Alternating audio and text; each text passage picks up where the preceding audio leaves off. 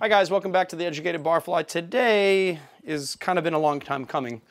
Uh, today I'm going to make for you a sidecar, which is a drink that everybody should know.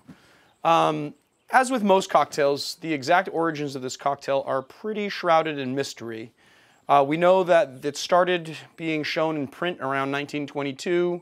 Uh, it was uh, definitely printed by Harry McElhone in his cocktails, his, his sorry, his book, uh, Harry's uh, ABCs of Mixing Cocktails, and then also Robert Vermeire's Cocktails and How to Mix Them. Uh, and in the first edition of Harry McElhone's book, he cites Pat McGarry, the celebrated bartender of Bucks Club in London as the creator, but then in later versions of his books, in later editions, he cites himself as the creator of the drink. And uh, Robert Vermeer uh, has also cited McGarry as the creator of the drink. Um, that's it. That's all I got to tell you about it. Uh, first thing we're going to do is we're going to rub just a half, half of the glass with lemon juice, and then we're going to crust it with sugar. The only garnish for this drink is a sugar rim. I chose kind of a weird shaped glass. Here, do it like that. Try and get it all on there, right? So it's a little bit hard to get there, but we got it on there. To shake off the excess. There you go. And then we're just gonna do, that's not correct, that was pineapple juice. Uh, half an ounce of lemon juice, Pretty simple cocktail. One ounce of Cointreau.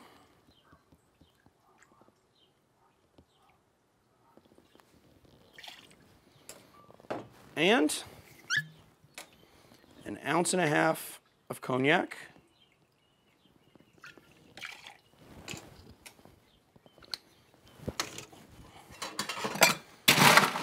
Fill our shaker with ice. Mix it, lock the tin, give it a good hard shake.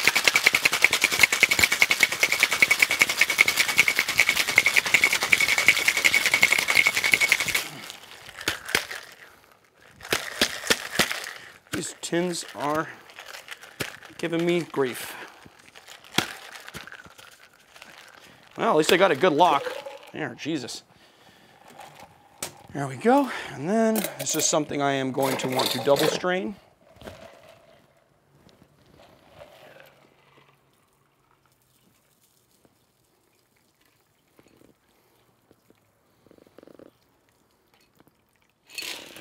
There you go.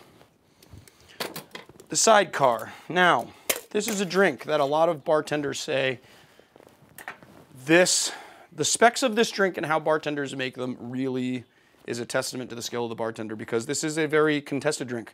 Some people love it, some people really hate it. Uh, it doesn't have a lot of sugar content in it. It's really just an ounce of Cointreau. And while Cointreau is a sweet liqueur, it's also a very dry liqueur.